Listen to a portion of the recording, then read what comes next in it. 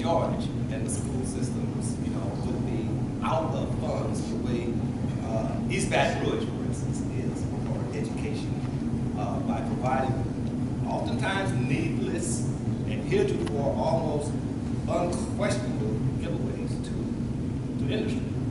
Now, my question though is, with regard to the St. George proponents, are they in favor of curtailing that program or when they come into existence, will they try to do what many of us have been doing, to try to get their schools out of that program altogether so that y'all can have that money to operate your schools rather than needlessly incentivize industries to come here that that have else to go? Okay, uh, as far as the ITEP program, which is what you're referring to, uh, St. George has no position on the ITEP program. It's not something we've been faced with because we're not in that area.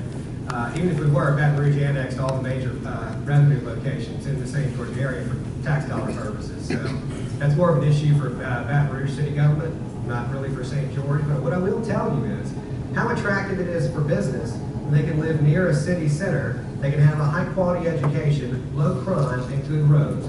Isn't that going to make it better to attract business?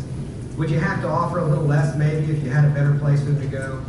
Would we get Albemarle and Raising Canes and Smoothie King back to Louisiana where they belong and not have them wander off to another state?